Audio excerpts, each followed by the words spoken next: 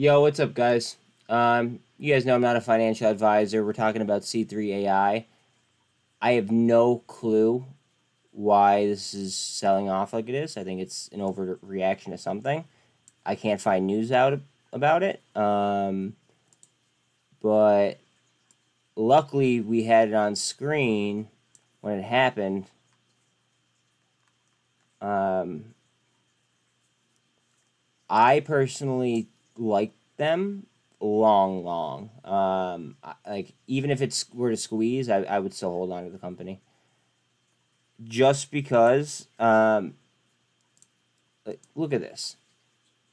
Okay, so this is in 2022. They had a full year in order to go ahead and develop and complete their uh, their software. And they already talked about Bank of America trading with it. Now, as far as their data goes, their market cap is going to be incorrect. Let's look at that over here. Um, their market cap is reading th- eh, just over 3 bill instead of the 3.2 that was trading at.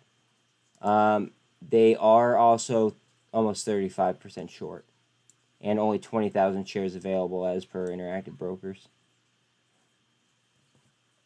Do as you will. Um, I will say this is my largest uh, holding.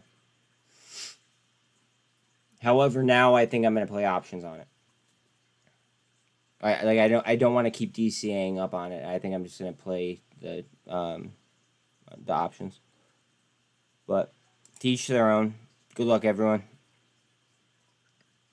And I'll probably be on tomorrow. I don't see why not. Later, guys.